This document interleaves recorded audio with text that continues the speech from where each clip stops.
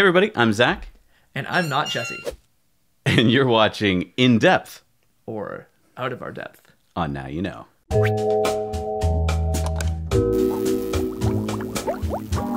All right, so uh, Steven's with us this week, and uh, where's Jesse? He's at space camp right now, so uh decided to fill in, take take the reins for a moment, and yeah, Excellent. Hi. Well, thank you. good to be here as always. So, this week we're doing our episode of In Depth on Consumer Reports' latest findings about the Model 3. They could not recommend the car yet because of one seemingly major issue, which is braking distance. So, on May 21st, Lance Ulanoff tweeted to Elon, he said, Response in 321.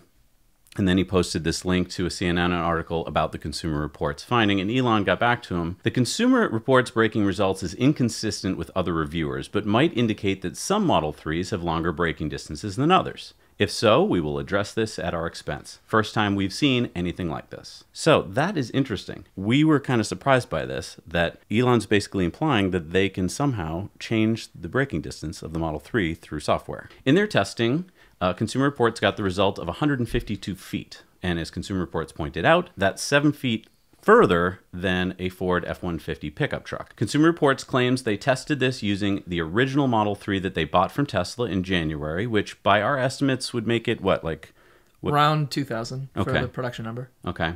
And then they also, because they found this result, they figured we'd probably should use a second car. They borrowed basically a friend's car and they got a similar result. Tesla stated Tesla's own testing has found braking distances with an average of 133 feet when conducting the 60 to 0 mile per hour stops using the 18 inch Michelin all season tire and as low as 126 feet with all tires currently available. Stopping distance results are affected by variables such as road surface, weather conditions, tire temperature, braking conditions, outside temperature, and past driving behavior that may have affected the brake system. Unlike other vehicles, Tesla is uniquely positioned to address more corner cases over time through over the air software updates, and it continually does so to improve factors such as stopping distance. All right, this is a big deal. So let's break this down. So I guess my first question is uh, Model 3 brakes are different than pretty much any other car's brakes out there. How do the Model 3 brakes work? According to the Tesla VP of Engineering Chris Porritt, the Model 3 uses electromechanical brakes rather than a vacuum brake booster. The resistance under your foot comes from the resistance of a spring and an electric motor. So when you take your foot off the accelerator, the drive motor immediately begins taking energy from the momentum of the car and turning it back into electricity, which gets stored in the battery. Then when you put your foot on the brake pedal, a computer takes the input of the amount of pressure you're applying with your foot and translates it into the amount of pressure the brake pads should apply to the four disc brakes. So why would the Model 3 have a longer stopping distance than the Ford F-150? So Consumer Reports claims that in their tests of the Ford F-150 that had a stopping distance of about 145 feet, and that's 7 feet shorter than the Model 3. One factor in the stopping of a moving vehicle is the vehicle's weight, and the Tesla Model 3 has a curb weight of about 3,814 pounds, and that's about the same weight as the Ford F-150, which weighs about 4,069 pounds. So basically, Tesla talked about in their statement all the other factors that go into this, but the big one, I think, is the key component appears to be the anti-lock brake system. Um, and there's an anti-lock brake controller or an ABS controller. So the ABS controller is pretty important, right? Um, Yeah. There's a sensor on every wheel. Yeah, it sends out a pulse signal 15 times a second. Okay, so if the wheel is accelerating, what does it do? It's applying pressure to And then- slow it down. Okay, and then if it senses that the wheel is deaccelerating, that means it's, It's locked. take yes, it's locked and it wants to take the and so it pressure pulls off. pressure away. So it's just continually doing this to make sure, and it's sensing what it should be Right. doing. The goal is so that it doesn't it doesn't, Doesn't lock up. slide. Yeah. we decided to test the Model 3 stopping distance ourselves. Now, obviously, we don't have a test track, but we do have a Model 3 and we have a flat, dry surface. So let's see what our results are. So here's some footage. Uh, Jesse and I went out and we did four runs two with me behind the wheel, two with Jesse behind the wheel, and we averaged our results.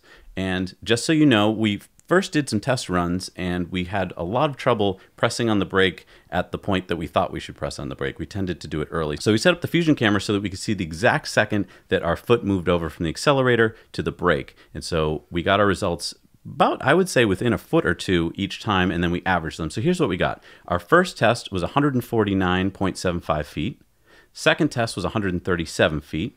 Third test was 137 feet, and the fourth test was 148.75 feet. So that averages 143.125 feet. Yeah, I do want to point out that uh, you know we weren't on a test track. Um, we were actually testing at 83 degrees Fahrenheit, which is about 10 degrees warmer than what Consumer Reports was testing. We were using 19-inch wheels instead of the 18-inch wheels that they were using. We were using Continental tires. They were using Michelin tires. So I mean, you can see there's some differences here, but in general, we were I think those were pretty good real world uh, results. Now, I thought there was a couple interesting things. On my first test, I didn't uh, press the brakes as hard as I could have. Um, I was a little bit gentler and I did not lock anything up. On my second test, I pressed down a lot harder. I remember getting a little bit of lockage in the very beginning of the run and then it slowed down as it should.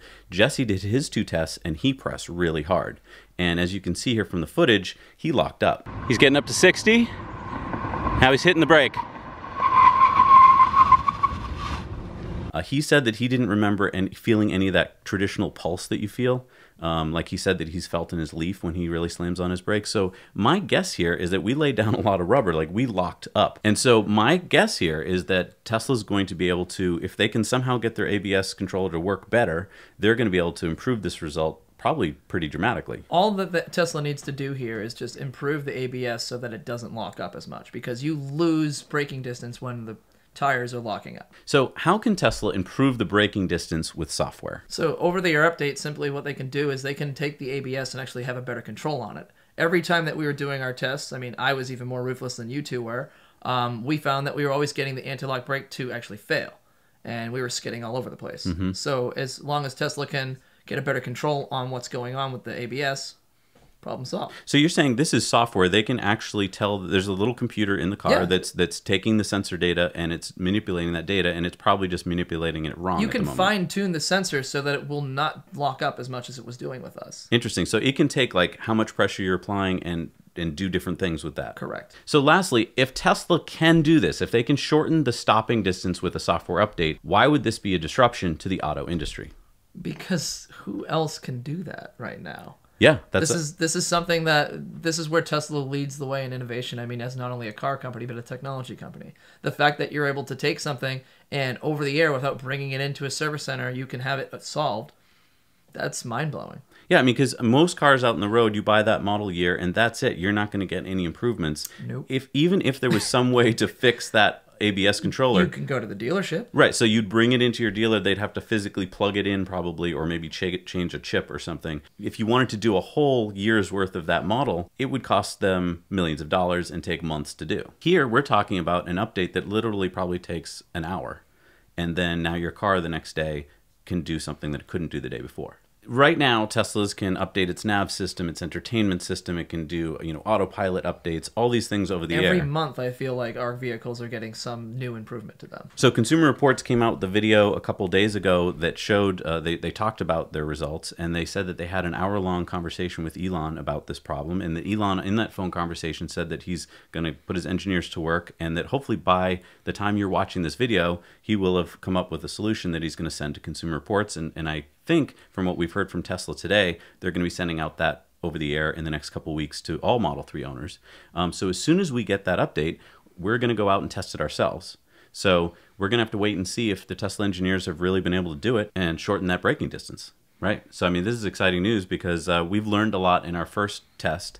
Um, we should be able to even do a better, we'll be able to film it better um, for our second test. And it'll be just interesting to see if we're going to get real world results that are better than what we just got today. And I just I just want to point out that I mean Consumer Reports got a lot of headlines and unfortunately a lot of people the only takeaway they're going to have from this is Tesla Model 3 doesn't get the Consumer Report recommendation. But if you read the entire Consumer Report report, it was actually pretty positive. It was talking about tremendous handling, uh, the amazing quickness of the car. Um, there's so many positive things The about only the downsides they gave it were the braking, the back seat, and the wind noise, which I can agree with the other two. I mean, Yeah. those are. But what backseat of a vehicle have you sat in? And you're like, oh, this is nice. Right. It's- it's- And and you're not going to stop from recommending a car based on the back seat. I mean, no, that's not gonna that's not gonna ruin it for you. It's it's unfortunate. You're gonna fight for shotgun. Exactly. But I mean, like, no, because the angle is pretty weird. I will is. say, and I will say, the wind noise comparatively to the cars in its class, like they're going to compare it to an A4, they're going to compare it to a BMW 3 Series.